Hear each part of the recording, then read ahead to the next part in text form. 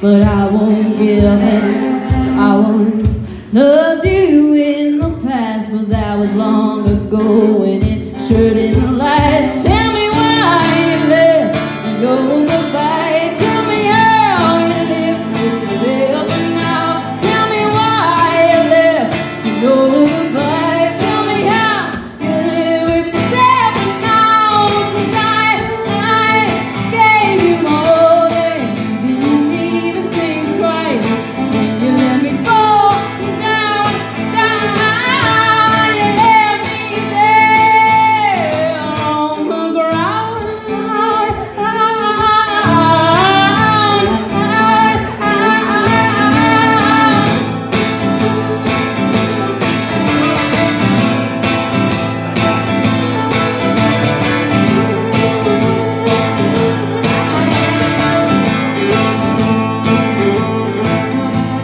say it different this time.